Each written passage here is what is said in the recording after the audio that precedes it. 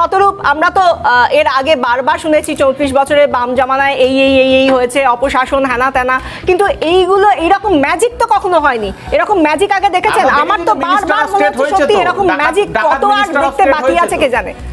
দেখুন প্রথম কথা আমি একটা কথা বলি যে কেন্দ্রের সরকার বা অমিত শাহ ছেলে জয়শা এদের হিসেব বহির্ভূত সম্পত্তি বেড়েছে এবং কেন্দ্রের এই সরকারটা একটা দুর্নীতিগ্রস্ত সরকার, এটা আমরা সিপিআইএম আমরা মনে করি। আমার এই নিয়ে ওনার বক্তব্যের সাথে কোনো দ্বিমত নেই। যদি সেটাকে এবং আমি অনুরোধও করব রিপাবলিককে যেন এই- নিয়েও আলোচনা করা হয় কারণ সেই আলোচনাটাও জরুরি। অতএব আমার বক্তব্যের মাঝখানে এটাকে নিয়ে চিল্লামিল্লি করে কোনো লাভ নেই। আমি এই প্রশ্নে ওনার সঙ্গে একমত। এইটা আমি শুরুতেই একটা রিজয়েন্ডার দিয়ে দিলাম। দ্বিতীয় আমার যে কথাটা বিষয়কে আমি এখানে বলছি, দেখুন মানে আমার খারাপ লাগে কোনো তৃণমূল সমর্থক হিসেবে এই কথাটা উনি বললে, যদিও ইয়ে তা কারণটা হচ্ছে কী বলুন ধরুন পার্থ চ্যাটার্জি চুরি করে থাকতে পারেন, কিন্তু বেহালা পশ্চিমে যে সাধারণ তৃণমূল সমর্থকরা পার্থ চ্যাটার্জিকে ভোট দিয়েছিলেন, তারা কেউ চুরি করেননি, তারা চোর নন, তারা অপরাধী নন। সুতরাং আমি কোনো কারণ দেখি না সাধারণ বুদ্ধিতে যে একজন তৃণমূল সমর্থক যিনি কিনা খেটে খান যিনি চুরি করে খান না যিনি লুটে খান না তার কি দায় থাকতে পারে এই চোর এই লুটেরাদেরকে ডিফেন্ড করার? কথাটা আমি এই কারণে বলছি আজকে আপনি পরিষ্কার আমরা চোখের সামনে দেখছি অনুব্রত মণ্ডলের বকলমে ওর মেয়ে ওর সাইগাল হোসেন ওর হচ্ছে চার্টার্ড অ্যাকাউন্টেন্ট ওর রাধুনী এরা যে কয়েকশো কোটি টাকার সম্পত্তি বানিয়েছে। বীরভূমে কাঁধে তৃণমূলের পতাকা নিয়ে মিছিল করা কোনো কৃষক কি সত্যি এই সম্পত্তিটা বানাতে পেরেছেন? তার মেয়ের জন্য তার বউয়ের জন্য তার নিজের জন্য পারেননি তো? সুতরাং আমরা যে আমরা যদি স্বচ্ছ একটা রাজনীতি চাই আমরা যদি অন্যায়ের বিরুদ্ধে দুর্নীতির বিরুদ্ধে লড়াই করি আমরা কোনো সাধারণ তৃণমূল কর্মী বা সাধারণ তৃণমূলের ভোটারের বিরুদ্ধে লড়াই তো করছি এমন নয় বরং একজন তৃণমূল নেতা তো তার হকের টাকাটাও মেরে খেয়েছেন। আজকে ধর্মতলায় গান্ধী মূর্তির তলায় কি ওই মাতঙ্গিনী হাজার মূর্তির তলায় যারা বসে আছেন সেই ছেলেমেয়ে প্রত্যেকটা ছেলেমেয়ের পরিবারের প্রত্যেকে কি অতীতে খালি সিপিএমকে নয়, বিজেপিকে নয়, কংগ্রেসকে ভোট দিয়েছে? কেউ তৃণমূলকে ভোট দেয়নি? হতে পারে কোনো দিন সুতরাং প্রশ্নটা তো হচ্ছে এখানে এখানে তো কি দায় থাকতে পারে? আমার দলের একজন দুর্নীতিগ্রস্ত লোক যে কিনা দুর্নীতিগ্রস্ত প্রমাণিত হয়ে গেছে, তাকে আমার ডিফেন্ড করার। আমি একটা কথা এখানে বলছি, কিছু মনে করবেন না, আপনাদের আজকের আলোচনার বিষয়ের সঙ্গে বা ইভেন এই প্রশ্নে সন্ময়দাও যে কথাটা বললেন, তার সাথে আমি একমত নই। যে আজকে আপনারা খুব হতাশ হয়ে বলছেন যে আজকে এই নিয়ে কোনো সদর্থক ব্যবস্থা নেওয়া হলো কিনা, আপনারা দেখলেন না। অনুব্রতকে তাড়ানো হলো। আমি বলছি, তাড়ানোর কী মূল্য আছে? আমি যদি তর্কের খাতিরে ধরে নিই যে আজকে অনুব্রতকে তাড়ানো হলো দল থেকে কারণ শাস্তিমূলক ব্যবস্থা নেওয়া হলো।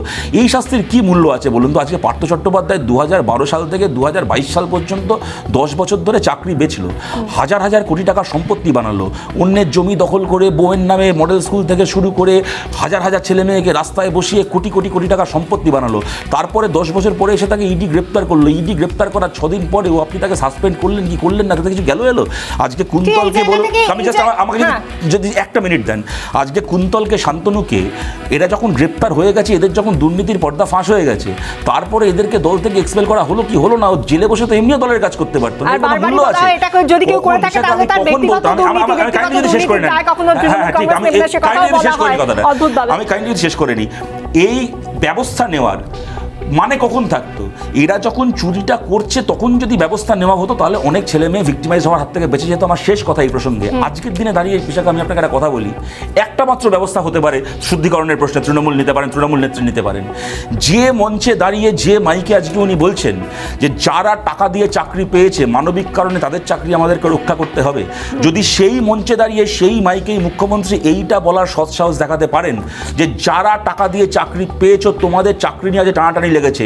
আমি চেষ্টা করছি তোমাদের পাশে দাঁড়ানোর কিন্তু তোমরা প্রকাশ্যে বলো আমার দলের কোন কোন লোক তোমাদের থেকে টাকা নিয়েছে। কেননা আমি মমতা ব্যানার্জি কাইন্ডলি এক সেকেন্ড আপনি মাঝখানে যদি একমত হয়ে আপনি যদি মাঝখানে একমত হয়ে আমার সাথে বলা শুরু করে দেন তাহলে তো আমি ইন্টারাপ্টেডই হই না না, ultimately। আমাকে অন্য আমি এই কারণে বলছি কথাটা।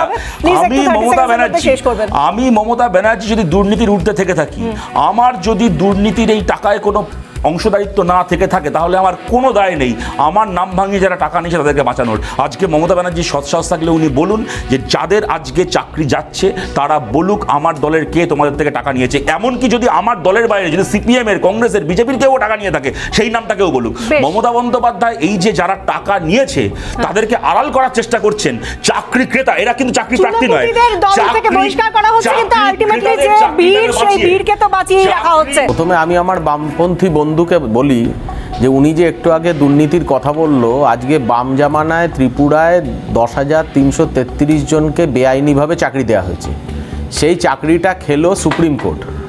পরবর্তীকালে দেখা গেল যে বিজেপি প্রতিশ্রুতি দিল যে এই চাকরিগুলোকে বিভিন্ন অন্য রাজনৈতিক সরকারি দপ্তরে চাকরি দিয়ে এটাকে কম্পেনসেট করা হবে এবং কিছু চাকরি দেওয়া হলো। তো আমার কথা হচ্ছে যখন মমতা বন্দ্যোপাধ্যায় এই সমস্যাটাকে মেটাবার জন্য যারা পথে বসে আছে তাদের জন্য বলল যে আমরা একটা পথ তৈরি করে দুপক্ষকেই যাতে কেউ চাকরি থেকে বঞ্চিত না হয় আমরা কোর্টে যাওয়ার দরকার নেই আমরা একটা সেটেলমেন্ট করব। সেই না না সেইটাকে না আমার চাকরির দিচ্ছি। বিষয়টা। আপনাকেই সুযোগ তাই জন্য তো বলতে হবে আমায়। তো সেইটাকে তো বিকাশ বাবুরা কোর্টে নিয়ে গিয়ে জিনিসটাকে কেচে তো আজকে আজকে তাহলে আবার চাকরির বিষয় কেন কথা আসছে? না না আমার কথাই বলতে দিন সুদীপ্ত তো আমার কথা বলতে দিয়েছে। কম তো কাছে যাচ্ছি ত্রিপুরায় ওই চাকরি দশ হাজার তিনশো তেইশটা চাকরির মধ্যে একটা চাকরি ও টাকার বিনিময়ে এই অভিযোগ মমতা আমি ব্যানার্জি অভিষেক ব্যানার্জিও কোনোদিন করেননি। ওনারাও যেটা বলেছেন বামফ্রন্টের বিরুদ্ধে সমালোচনা করেছেন। আমি মমতা বন্দ্যোপাধ্যায়কে কোট করছি। আমি যদি এটা যদি আমি সেটাই বলছি। দেখুন এই যদি ইনট্রাকশন হয় তাহলে কিন্তু আমাকেও করতে হবে। অনুপাতে দিল? আপনি সেটা আমার মমতা বেলায় দিয়ে কথা না, না, বললেন করি তাহলে কিসের অনুপাতে দিল? সেটাই বলছি আপনাদের নেতাদের তো অনেক রকম অনুপাত আছে কিসের অনুপাতে দিল বলুন? একটা কথা বারবার করে দেখুন আমি তো মমতা ব্যানার্জির মতো ঘেউ ঘেউ করতে বারণ করব না কিন্তু আমি এইটুকু বলছি একটা কথা বলতে হবে, আপনিও তো আমার বেলায় ঘেউ ঘেউ করে উঠলেন। আমি বলছি কি মমতা বন্দ্যোপাধ্যায় যে সমালোচনা করেছিলেন বামফ্রন্টের বিরুদ্ধে ত্রিপুরা এবং হয়তো সঠিক সমালোচনা করেছিলেন যে তা হচ্ছে ওখানে পদ্ধতিগত ভুল হয়েছিল কিন্তু চুরি করা হয়েছে এটা মমতা ব্যানার্জিও বলেননি এক। আমি মমতা এক।